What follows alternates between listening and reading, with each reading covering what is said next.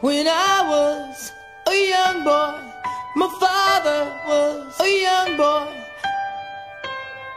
To see a marching band.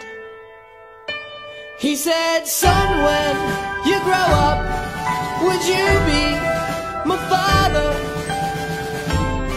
Damn. He said, will you